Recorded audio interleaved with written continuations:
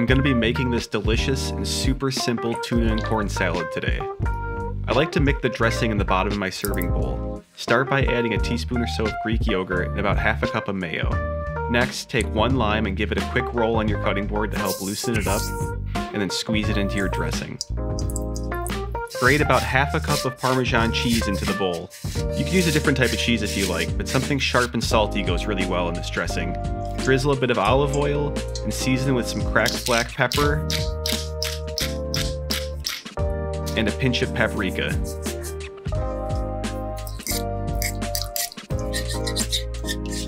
Next, you can go ahead and open up your can of tuna the nice part about doing the dressing directly in the serving bowl is that you can go ahead and just flake the tuna right into it, making your cleanup later easier. And then we're just gonna add some pre-cooked corn and diced green beans into the salad. I just use frozen veggies here, but if you want to steam or grill the veggies beforehand, that works too.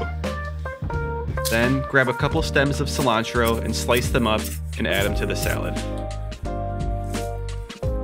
And then to finish, just simply give the salad a toss and taste for saltiness and adjust if needed. And there you go, tuna and corn salad, perfect for your next summer party.